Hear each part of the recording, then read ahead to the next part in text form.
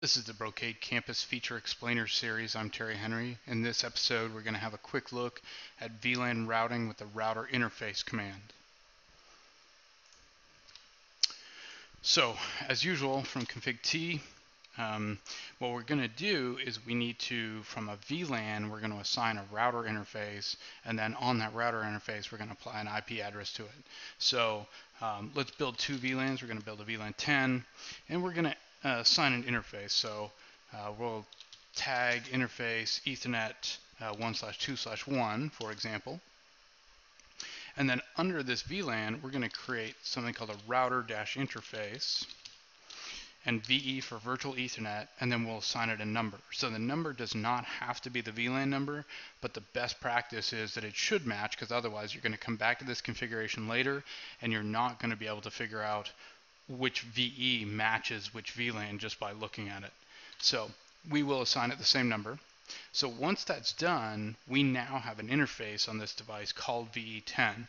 So I can just switch to interface VE10 and it, we now have this interface. So the, so the configuration, you can see the prompt changes to config VIF or virtual interface 10, and we can assign an IP address right on the interface. So let's say IP address uh, 10.0.0.1 1 slash 24.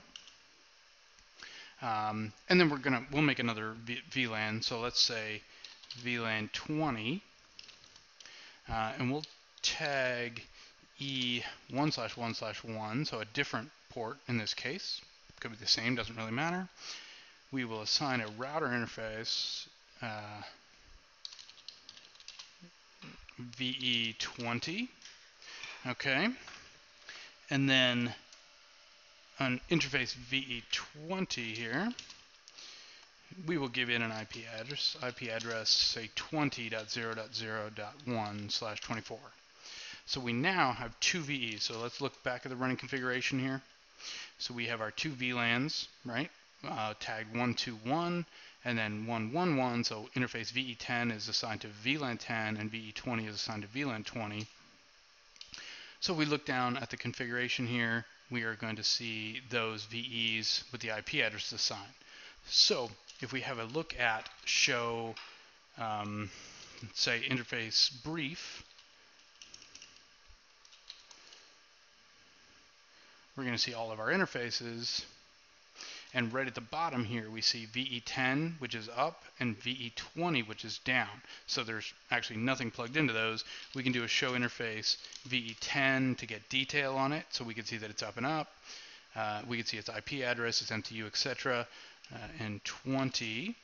So 20 is down. There's physically nothing plugged into it.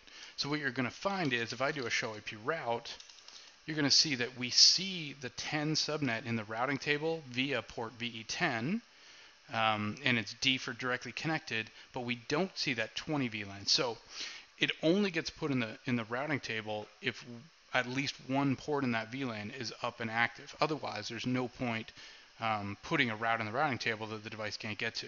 So if we plug that cable in to VLAN 20,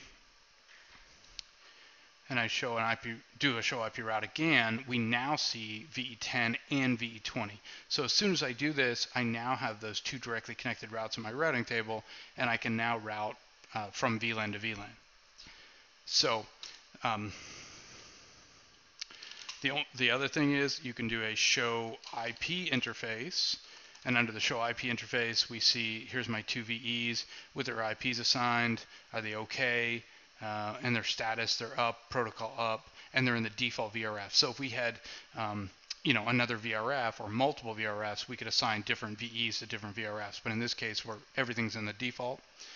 Um, and once we have those VEs, so if I go back to interface VE10 here, this works just like a regular interface. So I could say assign IP OSPF area 0 to that interface, or I could assign a VE to that interface, uh, sorry, an ACL to that interface. Um, so it, it works just like a physical interface once it's uh, you know up and active. So that's it. Thanks for joining.